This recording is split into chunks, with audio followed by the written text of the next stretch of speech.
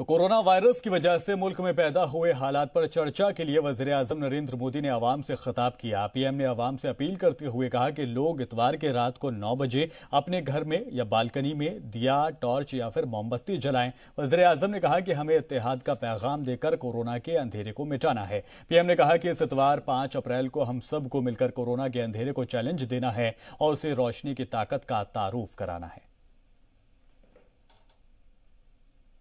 मेरे प्यारे देशवासियों, नमस्कार। कोरोना वैश्विक महामारी के खिलाफ देशव्यापी लॉकडाउन को आज नौ दिन हो रहे हैं। आज कई देश इसको दोहरा रहे हैं। जनता कर्फ्यू हो, घंटी बजाने थाली बजाने का कार्यक्रम हो, इन्होंने इस चुनौतीपूर्ण समय में देश को इसकी सामूहिक शक्ति का एहसास कराया। यह भाव प्रकट हुआ कि देश एक होकर कोरोना के खिलाफ लड़ाई लड़ सकता है। अब लॉकडाउन के समय में देश की आप सभी की ये सामूहिकता चरितार्थ होती नज़र आ रही है। इस अंधकारमय कोरोना संकट को पराजित करने के लिए हमें प्रकाश के तेज को चारों दिशाओं में फैलाना है। और इसलिए इस संडे पाँच अप्रैल को हम सबको मिलकर कोरोना के संकट के अंधकार को चुनौती देनी है। उसे प्रकाश की ताकत का परिचय कराना है।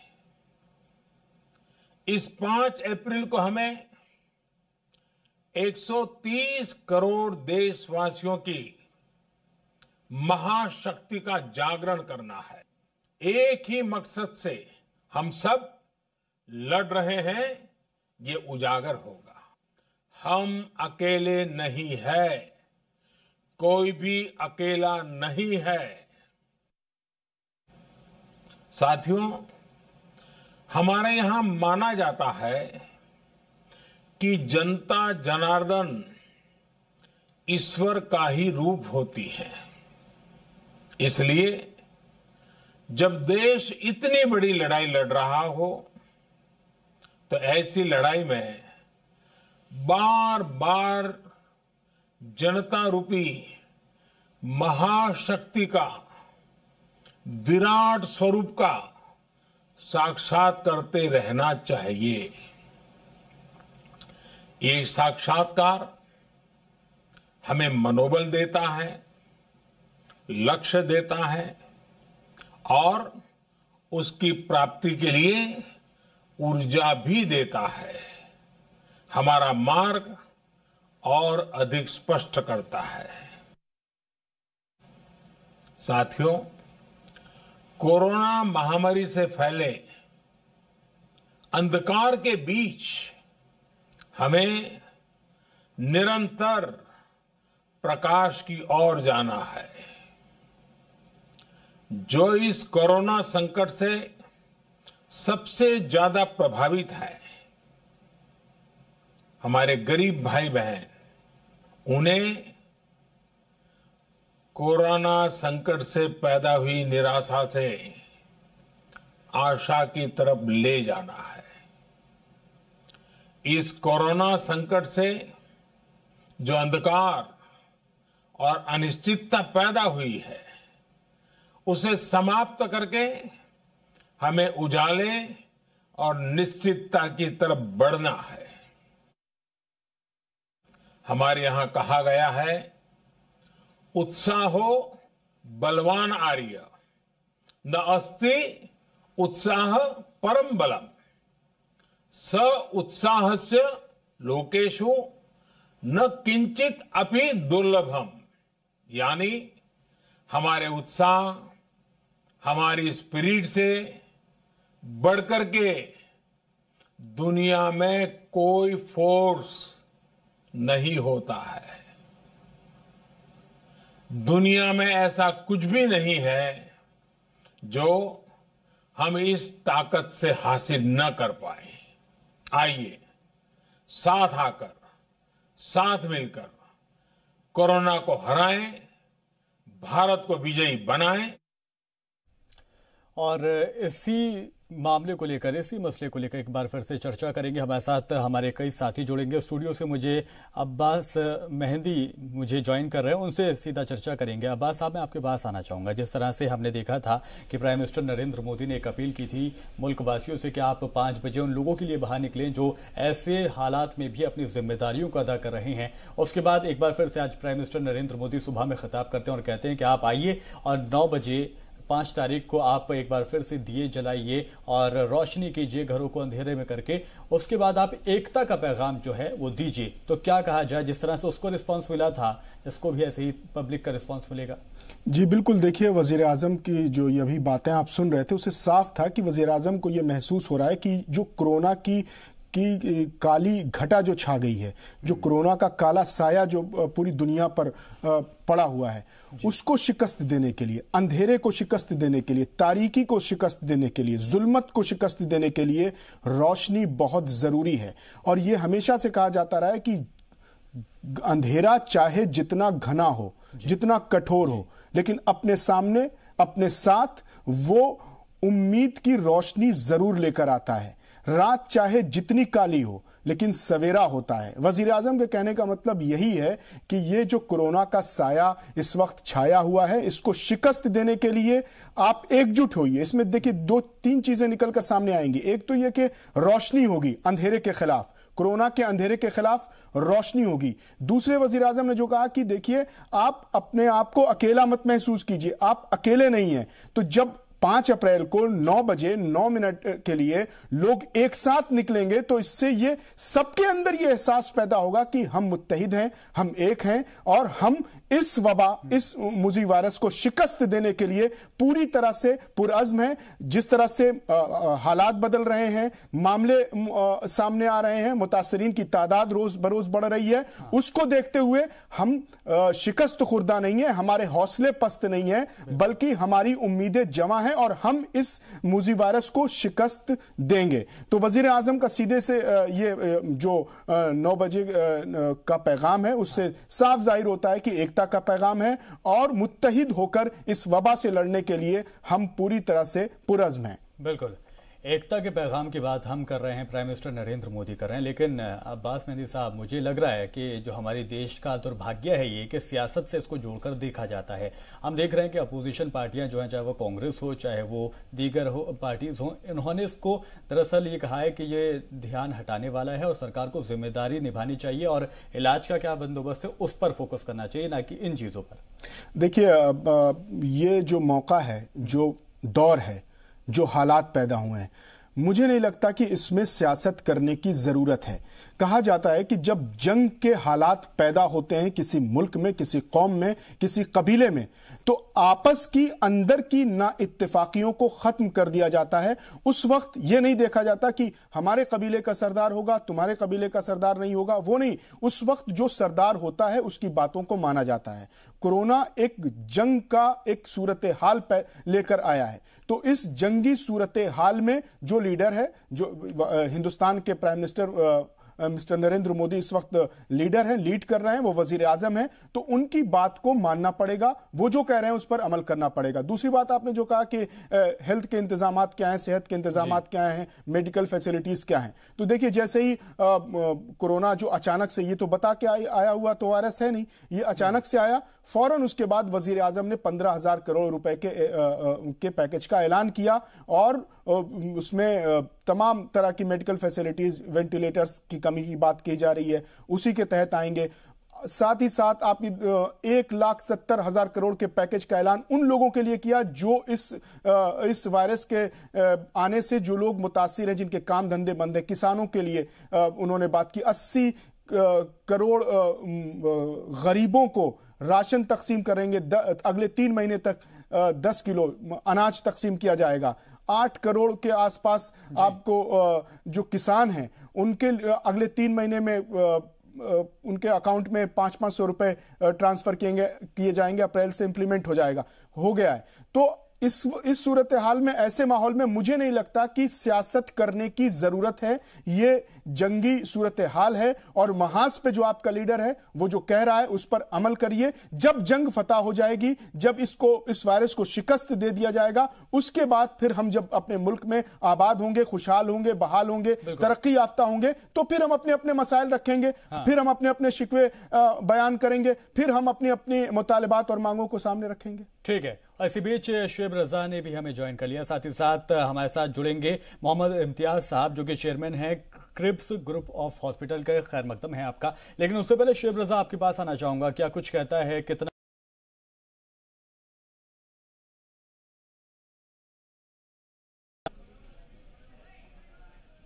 आ, बिल्कुल शफान देखिए जो आदद शुमार है अगर कोरोना वायरस के मुतासर लोगों की बात करें तो वो लगातार बढ़ता जा रहा है आज हम्म। भी जो हेल्थ मिनिस्ट्री की तरफ़ से जो आदद शुमार जारी किया गया या दिल्ली हुकूमत या फिर तमिलनाडु या तमाम जो सूबाई रियासत है उनकी तरफ़ से जो भी आदद शुमार जारी किए गए हैं उसमें यही है कि जो कोरोना वायरस के मरीज़ हैं, उनकी तादाद लगातार बढ़ रही है।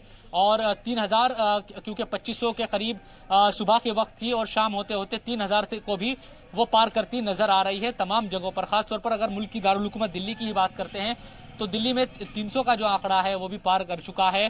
तो यकीनन ये आदद शुमार अच्छे नहीं है मुल्क की सेहत के लिए। यही लगातार ये कोशिशें हुकूमती सतह पर भी हो रही है और लगातार ये कहा जा रहा है कि जो सोशल डिस्टेंस है वो बना कर रखे और जो भी कोशिशें हो सकती है ये वायरस ना बढ़े। इसको लेकर लगातार कोशिशें होनी चाहिए। एक दूसरे इतने दिनों से जो भी बेदारी प्रोग्राम है वो चल रहे हैं या बेदार जो भी किया जा रहा है सियासी तौर पर माफ़ कीजिएगा समाजी तौर पर आ, वो पूरी तरह से अगर देखे हम्म। तो वो नज़र भी आ रहा है। तमाम लोग बेदार हैं लोग जागरूक है लेकिन कई जगहों पर फिर भी कई तरह की शिकायतें मिलती है।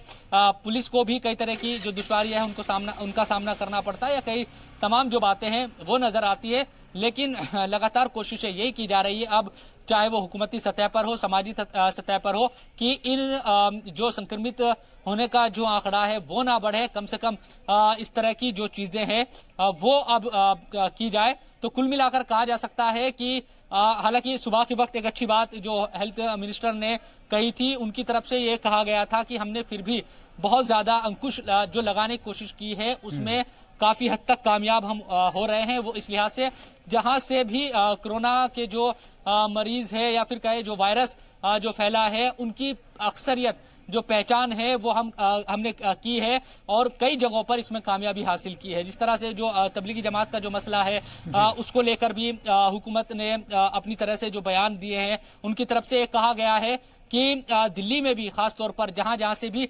कोरोना वायरस हमने देखा है कि एक से दूसरे को लगा है हम्म। या तमाम चीज़ें हुई है तो उनको वहीं तक महदूद करने की कोशिश है और उसकी एक तरीके से उसको चिन्हित किया गया है तमिलनाडु तेलंगाना तमाम जगहों पर जो आंकड़े हैं जो बड़े हैं यकीनन वो भी बेहद परेशानी बढ़ाने वाले हैं इसीलिए अब लगातार ये कोशिश हो रही है कि जो लॉकडाउन के दिन बचे हुए हैं, कम से कम इनमें पूरी तरह से जो लोग हैं, वो लॉकडाउन का पालन करें और सोशल जो डिस्टेंसिंग बनाने की जो बात है, वो पूरी तरह से ज़मीन पर उसका असर दिखे, तभी इस चैन को तोड़ा जा सकता है।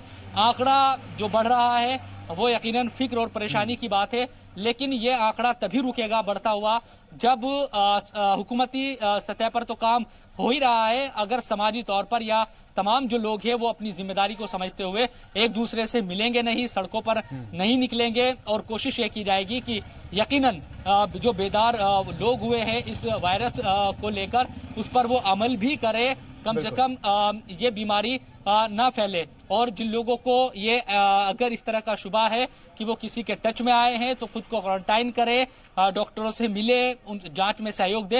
ये तमाम चीज़ें करनी पड़ेगी तभी जाकर ये वायरस की जो चैन है इसको तोड़ा जा सकेगा। और जो लॉकडाउन क्योंकि हम कई मुल्कों में देख रहे हैं कि वहाँ एक एक महीने के लॉकडाउन किए गए हैं। आज भी क्योंकि सिंगापुर से खबर आई और भी कई मुल्कों में इस तरह की जो हुक्म है हुकूमत ने दिए हैं।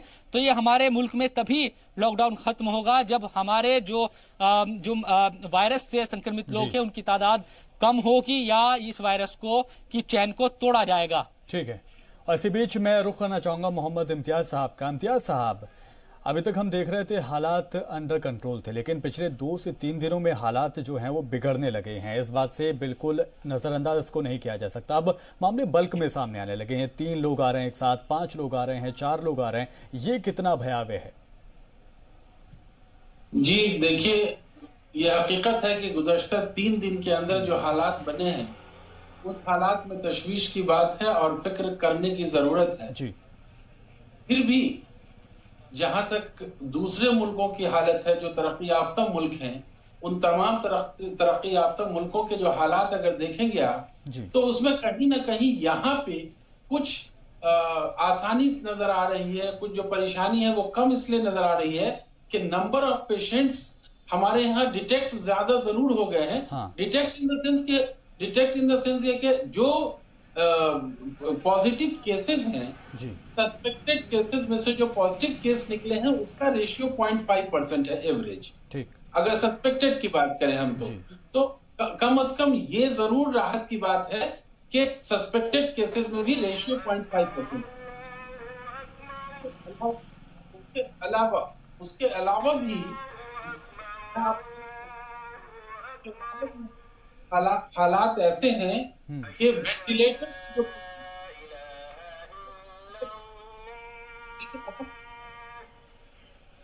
अल्हम्दुलिल्लाह दूसरे वेंटिलेटर पे हैं मोहम्मद इम्तिया साहब मैं आऊँगा थोड़ा टेक्निकल फॉल्ट है मैं अब्बास साहब आपके पास आना चाहूँगा। अब्बास साहब जिस तरह से हम ये देख रहे हैं ये वाकई में राहत देने वाली खबर है कि ज़रूर हमारे यहाँ अब तेज़ी से आंकड़े बढ़े हैं लेकिन बाकी ममालिक के मुकाबले चाहे वो अमेरिका हो या फिर इटली हो इनके मुकाबले हमारे यहाँ ज़रूर ये इस चीज़ को हम नज़रअंदाज नहीं कर सकते कि जो मौत है मरने वाले लोगों का जो आंकड़ा है उसमें कहीं ना कहीं कमी है और ये हमें कामयाबी इसको हम कह भी सकते हैं। जी बिल्कुल जिस तरह से अगर आप इटली का डेटा देखेंगे स्पेन का डेटा देखेंगे ईरान का डेटा देखेंगे खुद चाइना का डेटा देखेंगे तो उसके मुकाबले में हिंदुस्तान ने बहुत हद तक कंट्रोल किया है और इसी तरह से अगर आवाम साथ देते रहे लॉकडाउन की पासदारी होते रहे उस पर अमल किया जाता रहा सरकारी हिदायतों पर अमल किया जाता रहा तो हम, मुझे ये लगता है, मैं हमेशा से ये कहता हूँ कि मैं बहुत पुरुद हूँ कि मेरे मुल्क हिंदुस्तान में इस वबा का उतना असर नहीं होगा जो बाहरी मुल्कों में बैरून मुल्क में हमें जो देखने को मिला जिसको देखकर यहाँ पर लोगों में खौफ है खदशा है दहशत है। हाँ। वैसी सूरत हाल हमारे मुल्क में नहीं पैदा होगी क्योंकि यहाँ के अवाम पूरी तरीके से सरकारी हिदायतों पर अमल कर रहे हैं। सरकार भी लगातार मुस्तैद है। खुद वज़ीर आज़म लगातार इस हालात पर नज़र बनाए हुए हैं। वो लगातार जैसे अब ये जो अपील की है कि नौ बजे रात में पाँच अप्रैल को नौ मिनट का दिया जलाना। इस तरह की छोटी छोटी कोशिशों के ज़रिए लोगों के अंदर हौसला पैदा किया जा रहा है और साथ ही साथ लोगों में बेदारी पैदा की जा रही है। तो बेदार होकर होशियार होकर ईमानदार होकर हम अगर सरकारी हिदायतों पर अमल करेंगे तो हम इस कोरोना को शिकस्त देने में हिंदुस्तान इस कोरोना को शिकस्त देने में कामयाब होगा। बिल्कुल। शेब रजा आपके पास में आना चाहूँगा। शेब रजा हम देख रहे हैं कि जो आंकड़े अब कल से अब तक के आए हैं जिसमें पॉजिटिव पाया गया उसमें जो तादाद है दरअसल ये अफसोस की बात भी है कि यहाँ पर तबलीगी जमात के लोग सबसे ज़्यादा पॉजिटिव पाए गए हैं। बिल्कुल शफान देखिए ये बहुत ज़्यादा परेशान करने वाली बात है क्योंकि दिल्ली में भी अगर बात करें तो तकरीबन तीन सौ बयासी जो केसेस है वो आज तक सामने आए हैं जिसमें से आ, करीब 250 जो केसेस है वो तबलीगी जमात से जुड़े हुए जो लोग हैं उनको जो वायरस हुआ वो जो मुतासर हुए उसके आंकड़े हैं। इसी तरह से दूसरी जगहों पर भी ये तमाम चीज़ें सामने आई है तो बहुत ज़्यादा एहतियात बरतने की ज़रूरत है। इसीलिए लगातार जो कोशिशें हैं वो ये की जा रही है कि कम से कम लगातार जो दरख्वास्त है अपील इसीलिए लगातार की जा रही है कि अगर कोई भी शख्स दिल्ली में कोई आया था और वो मरकज के किसी भी प्रोग्राम में तेरह तारीख को या उससे कुछ दिनों पहले तक भी वो शामिल हुआ या उसके बाद वो शामिल हुआ या लोगों से मुलाकात उन्होंने की किसी भी तरह से वो टच रहा तो खुद ही आकर जाँच कराए। क्योंकि देखिए हमें समझना होगा कि सरकार कोशिशें कर रही है प्रशासन अपनी सतह पर कोशिश कर रहा है सूबाई जो हुकूमतें हैं वो अपनी अपनी सतह पर कोशिशें कर रही है। आ, लेकिन जब तक अवामी सतह पर पूरी तरह से बेदार और एक तरीके से खुद आगे बढ़कर इस सिलसिले में कदम नहीं उठाए जाएँगे और खुद ये नहीं सोचा जाएगा कि दरअसल इस।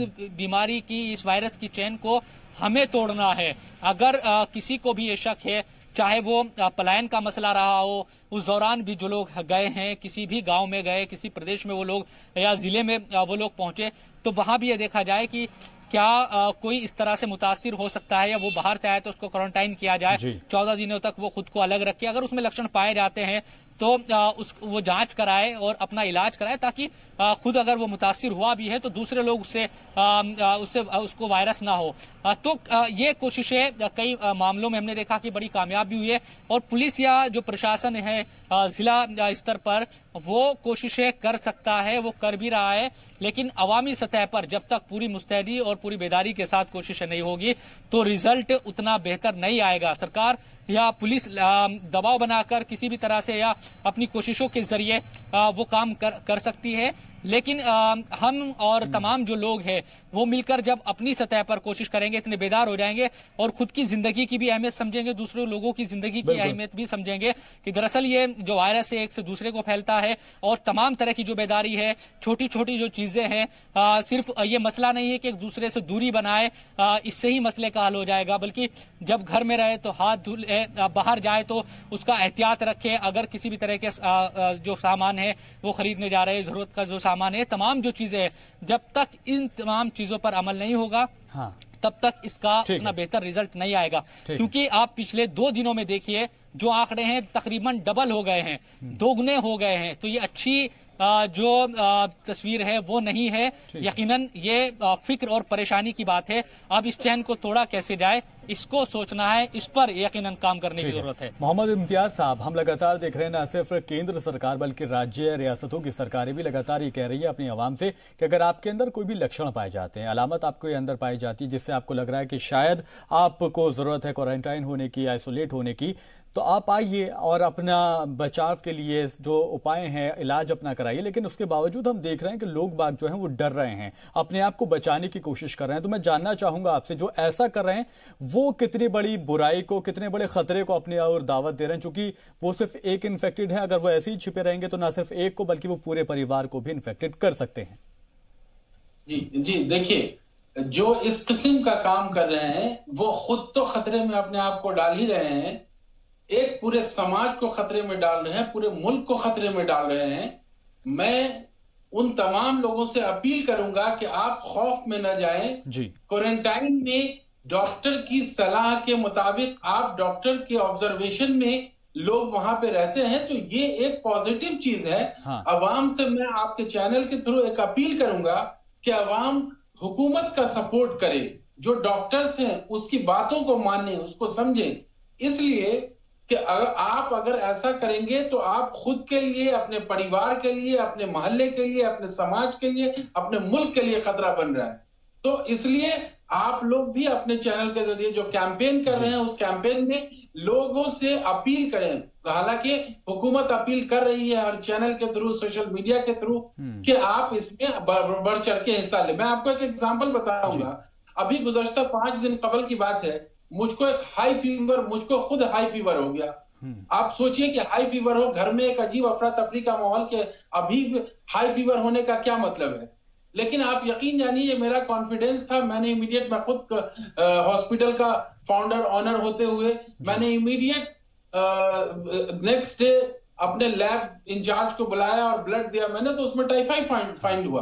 बिल्कुल। तो लोग असल में डरे हुए हैं सहमे हुए हैं डर दूसरे मुल्क देखिए बहुत बड़ी सच्चाई है कि जितने भी तरक्की याफ्ता मुल्क हैं हाँ। उन तमाम मुल्क कोरोना के सामने बेबस बन के खड़ा है।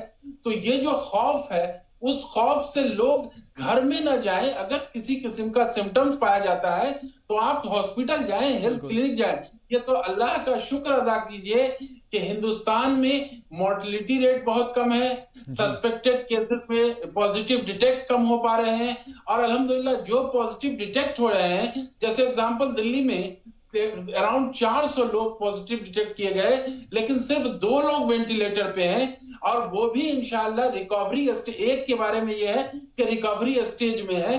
तो ये बहुत पॉजिटिव चीज़ है कि 400 लोगों में दो लोगों की जान खतरे में दिख रही है इट मीन्स रेशियो हमारे यहाँ बहुत कम है। मैं आवाम से अपील करूँगा कि जो गवर्नमेंट ने सोशल डिस्टेंस मेंटेन करने के लिए कहा है जो लॉकडाउन गवर्नमेंट ने आ, आप लोगों पे तायद किया उस, उसको आप मुकम्मल तौर से हुकूमत का सपोर्ट करें अपने लिए अपने समाज के लिए और इस मुल्क के लिए। ठीक है। इसी बीच एक छोटे से ब्रेक लिए मैं रुकना चाहूँगा। ब्रेक के बाद चर्चा जारी है।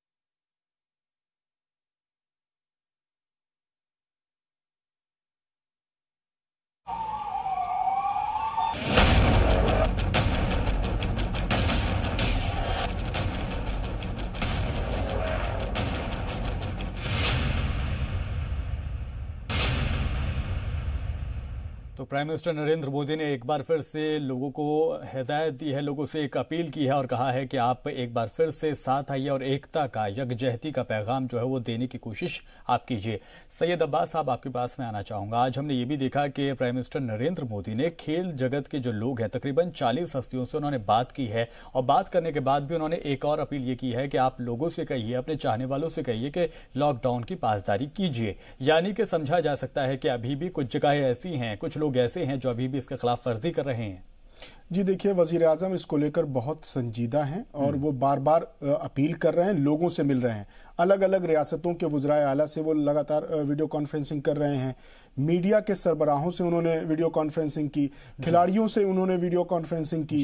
कल उन्होंने वीडियो कॉन्फ्रेंसिंग के ज़रिए जो रियासत के वजरा आला से बातचीत की उसमें उन्होंने कहा कि महाराष्ट्र के जो वज़ीर आला हैं उद्धव ठाकरे उन्होंने मुझे एक सुझाव दिया था कि धार्मिक जो गुरु हैं हम्म। जो मजहबी रहनुमाई है हाँ। उनको बेदार किया जाए उनसे अपील की जाए कि वो अपने अपने लोगों को कहें तो उस उन्होंने कहा कि ये सुझाव मुझे बहुत अच्छा लगा और मैं अपील करता हूँ। तो वज़ीर आज़म लगातार जिम्मेदारान जो समाज के जिम्मेदार हैं समाज में जिनकी बात मानी जाती है जैसे उन्होंने कहा कि लॉकडाउन जब खत्म होगा कल जब वजरा से वीडियो कॉन्फ्रेंसिंग हुई थी तो उन्होंने कहा कि जब लॉकडाउन खत्म होगा। और लॉकडाउन खत्म होने के बाद लोग निकल ना पड़े सड़कों पर इसके लिए जो इलाके के जिम्मेदार हैं उसमें उन्होंने फोकस दिया मजहबी कयादत पर धर्म गुरुओं पर कि वो लोग यानी हमारे यहाँ उलमाए कराम है मुफ्तिया कराम है अकाब